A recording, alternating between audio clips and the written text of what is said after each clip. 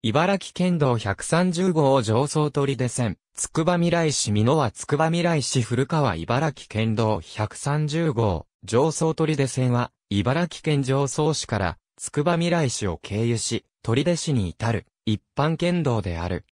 上総市三街道諏訪町より、東方向へ向かい、つくばみらい市を経て、取出市白山の国道294号、白山八丁目交差点へ至る路線。大部分の区間は、小海川と並行して、つくばみらい市を南北に縦断する。起点、三街道諏訪町より、国道294号上総バイパスまで、上総市内の約 1.1km 区間は、国道354号と重複するほか、つくばみらい市南部で、茨城県道19号取出つくば線との重複となる。1975年5月29日、前身にあたる、県道酒詰三街道線、旧、寺原停車場線が廃止され、これに代わる、県道路線として、起点を、三街道市諏訪町、終点を、鳥出使用技のとする県道三街道鳥出線が認定された。1995年に茨城県道の路線の再編が行われ、整理番号130へ変更となる。起点側の自治体の合併に伴い、三街道市が上総市と解消されていたことから、2006年に現在の路線名である県道上総取出線に解消されている。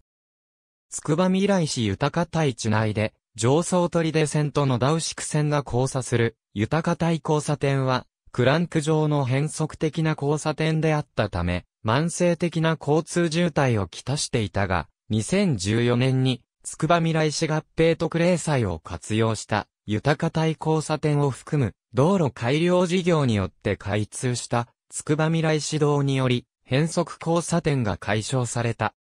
また、2016年に終点である国道294号と、取り付く交差点の改良が行われるなど、渋滞緩和に向けた道路改良事業が行われている。道路法の規定に基づき、上総市荒井木つくば未来市ヶ谷井田間及び、取手市、産業同市白山間は、緊急輸送道路として、機能を維持するため、災害発生時の被害拡大防止を目的に、道路用地内に電柱を建てることが制限されている。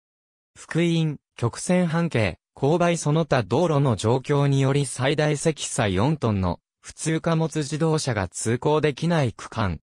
AB、道路の区域決定、道路の共用開始、茨城県法号外、ピアニッシモ2、56、AB、道路の区域の変更、茨城県法第2876号、ピアニッシモ1516、ABC、県道路線の認定、茨城県法号外 P1。ABCD、茨城県道路現況調書平成31年3月31日、現在 P9AB、県道路線の廃止、茨城県法号外 P2、県道路線の変更、茨城県法第5264号 P3、道路の区域変更、道路の共用開始。茨城県法第7623号、ピアニッシモ4号、道路の区域の変更、茨城県法第137号、P3、県道の路線名及び、整理番号の変更、茨城県法第637号、ピアニッシモ82、県道の路線名の変更。茨城県法第1758号、P19、車両制限令に基づく道路の指定及び、車両の通行方法の指定、茨城県法、第1761号、P6、AB 龍ヶ崎工事事務所。国道294号新しい交差点が、共用を開始しました。茨城県ホームページ。茨城県。2016年6月6日閲覧。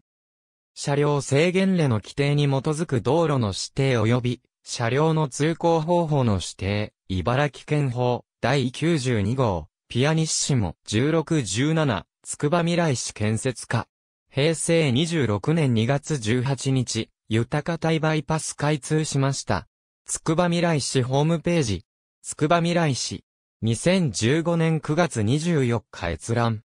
土木部土浦土木事務所。平成26年2月18日火曜日、豊か台バイパス開通。茨城県ホームページ。茨城県。2015年9月24日閲覧。道路の専用を制限する区域の指定、茨城県法、第2980号、ピアニッシモ、1828。ありがとうございます。